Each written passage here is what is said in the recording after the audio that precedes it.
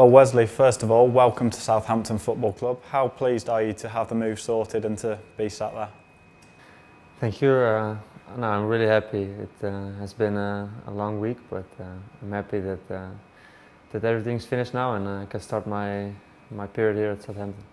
And what was it about the club and the project that is going on here that attracted you to St Mary's, and why did you feel this was the right next step in your career?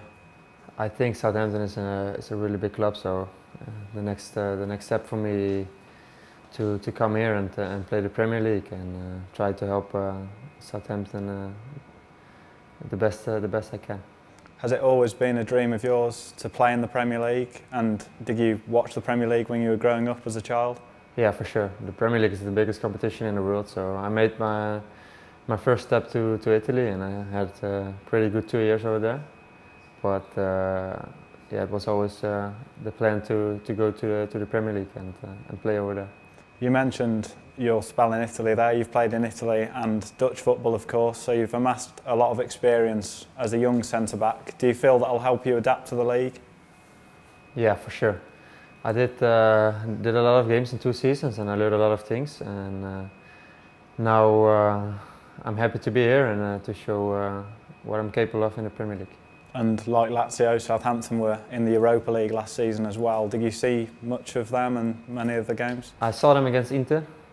So uh, obviously uh, away I saw it. It was a good game. Unfortunately they lost, but uh, no, I, uh, I saw some games, yes.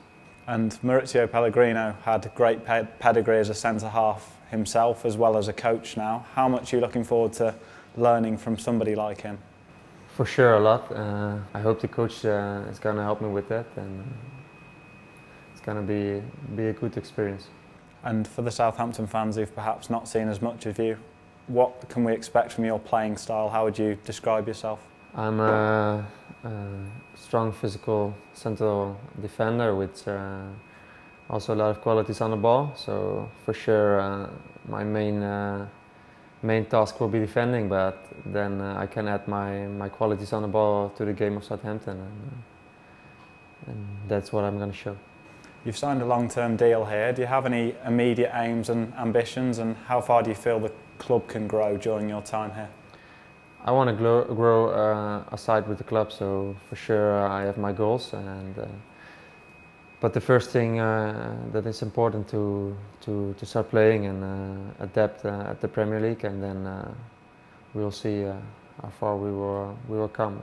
And you've played for the Dutch national side as well. Is that something that's in your mind with a World Cup on the horizon to try and establish yourself here and get regular football? Yeah, for sure. My main priority in this moment is Southampton and uh, if I do good here I will, I will um, take my squad in the, my place in the national team. So for sure uh, that uh, that's a goal of mine. And finally, you've had a tour of Staplewood earlier on today and you've got to see St Mary's. How impressed have you been with the facilities here? I'm really impressed. For uh, It's a nice, really nice uh, trainings uh, accommodation. You have everything there. So I think I, will, I can grow a lot there, over there. And also the stadium, I saw it today for the first time, but it's, uh, it's amazing.